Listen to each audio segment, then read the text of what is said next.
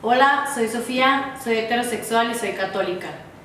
Y tengo muchos amigos gays, y algunos católicos y algunos no. Y una vez cuando estaba hablando con un amigo, me dijo que él firmemente pensaba que no merecían el amor de Dios.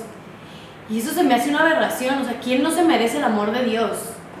¿Quién no merece el amor de Jesús? O sea, si Él dio la vida por nosotros y el máximo valor es que amor, es el amor que Jesús dio al dar la vida por nosotros, entonces, ¿qué se está promoviendo? ¿Qué se está promoviendo con estas marchas? Eh, son, eh, mis amigos y las, y las personas homosexuales son gente que quiere, que quiere ser feliz, o sea, son gente como yo, gente como nosotros que simplemente quieren ser feliz. Entonces yo estoy aquí dando testimonio por mis amigos y por todos aquellos que quieren sus derechos, eh, que sus derechos sean realizados. Si tú también quieres dar tu testimonio en www.católicos.org www.católicosgays.org y damos tu mensaje.